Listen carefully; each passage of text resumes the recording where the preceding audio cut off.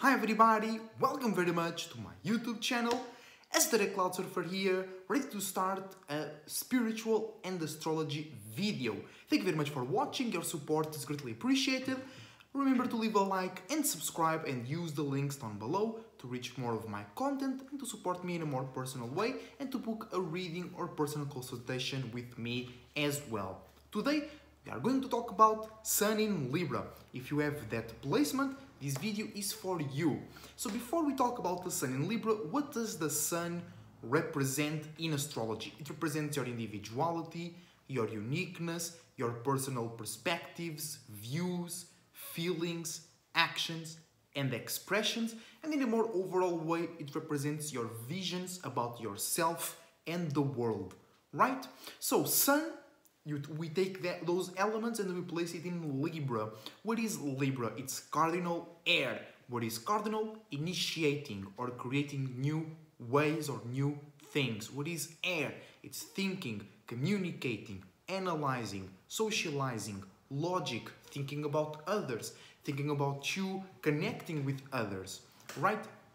Or playing out those things in your mind, playing out those scenarios right? So Sun in Libra means that you want to, because the Sun also represents your wants, you want to or you act to, or you act in, or you are very expressive about new creative ways to socialize, to relate, and also to be logical and balanced about those things because the cardinal air energy brings a lot of you creating a way to think about your perspectives, but also you create a new way, or after you think about your own perspectives, you can create a way, a perspective about others' visions and positions. Doesn't mean you are always right. Sometimes you are only thinking what others want and need, and it's not right, it's not true, right? Just a disclaimer right there. Then, Libra is also ruled by Venus, right? It's the masculine, the external side of Venus. So that means that your actions will always carry, or you will want that to look like or to actually be more balanced, like I said before, more relatable as well, right? That's why Libra is ruled by Venus because they share those elements. But then Venus brings something to Libra, which is gullibility, right? Or you are too open or too engaging into others' perspectives and worldviews and wants, and you might forget about your own, or not forget, but care a bit less, right? Uh, not not respect yourself as much as you should because you are too worried you are committed, keyword also brought by Venus, to others' perspectives and others' actions and things like that, right? So you have to be very careful with your Sun in Libra because you might get the short end of the stick and you think you're doing the right thing.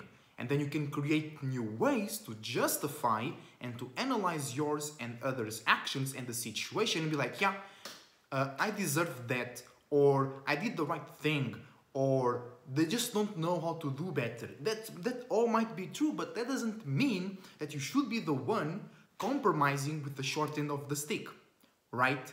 You can create a balancing scenario where you take a little bit of the short end of the stick and they uh, take that too, and you both learn, right?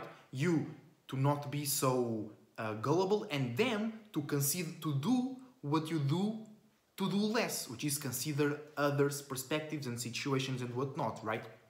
Also, uh, the constellation of Libra, that group of stars, was born out of the seventh house, right? So that also deals with relationships and the seventh house, because there are other houses that deal with relationships, right? But the seventh house is like all types of relationships. It's more uh, it's more inclusive because many astrologers will say it's all about romantic relationships, but that's not true. That's entirely not true, right? Because that's more like water, right?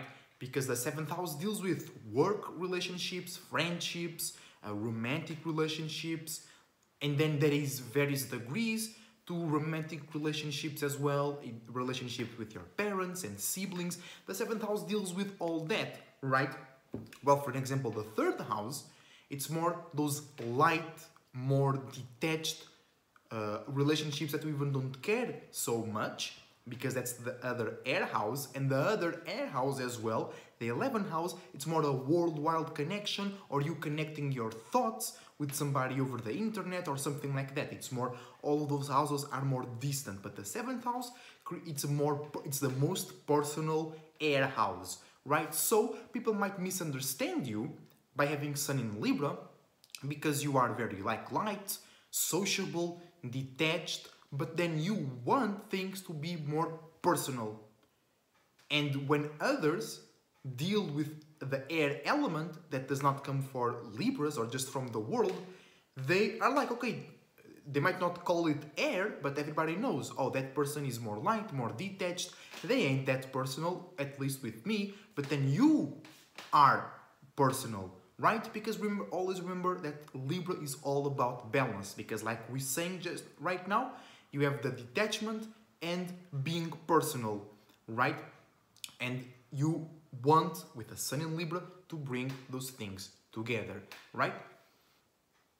So others might misunderstand you, and uh, that might make you create a new way to think about them or the relationship like it's not working or you need to change something and you just need to clear the misunderstanding and, and be like, oh, I thought this, I thought that, which is something that you guys can do. Create, you can easily create new ways to think, communicate, and analyze, and then express and act on it.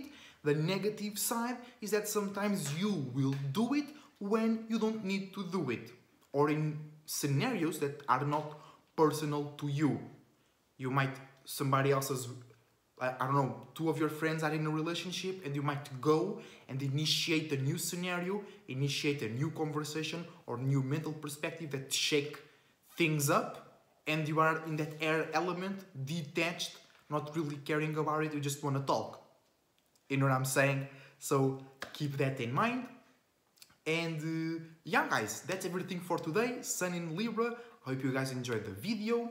I hope you guys will leave a like and subscribe. And if you want to know more things about your sun sign in Libra or about your whole natal chart, I have um, natal chart readings available to you, tarot readings available to you, my own type of tarot readings available to you. You can do a personal consultation because the natal chart is very good, right, to know about. But then you have your own natal chart, I have my own natal chart, and with my personal consultations, we can apply your natal chart because I don't know, I can have the exact same alignments as you do, but we're gonna use them in different ways, in different circumstances. So the personal consultations bring your uh, esoteric, right, map to your physical circumstance. So thank you very much for watching once again. Until the next time, Esoteric Cloud Surfer, surfing out. See you soon.